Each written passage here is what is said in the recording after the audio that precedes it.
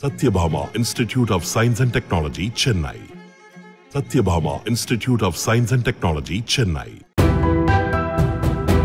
காவிரியில் தண்ணீர் பெற இருபத்தி மூன்று நாட்கள் நாடாளுமன்றத்தை முடக்கிய இயக்கம் அதிமுக என்றும் கர்நாடக துணை முதல்வர் ஒரு சொட்டு தண்ணீர் தர முடியாது என்று சொன்னபோது மறுத்து குரல் கொடுத்தவர்கள் திமுகவினர் என்றும் அதிமுக செயல் வீரர்கள் கூட்டத்தில் முன்னாள் அமைச்சர் தங்கமணி தெரிவித்தார் இதெல்லாம் வேலைக்காகாது.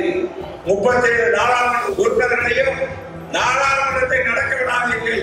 நம்முடைய கோரிக்கை எப்பொழுது நிறைவேறுகிறதோ அப்பொழுதுதான் நடக்க வேண்டும் என்று சொல்லி இருபத்தி மூன்று நாட்கள் நாடாளுமன்றத்தை முடக்கி காவேரி பிரச்சனைக்கு தலைவரை நியமித்து தண்ணீரை பெற்றுக் கொண்ட இயக்கம் அங்கே இருக்கின்ற கர்நாடக முதலமைச்சர் துணை முதலமைச்சர் ஒரு சொட்டு தண்ணீர் தமிழகத்திற்கு தர முடியாது என்று சொல்கிறார்.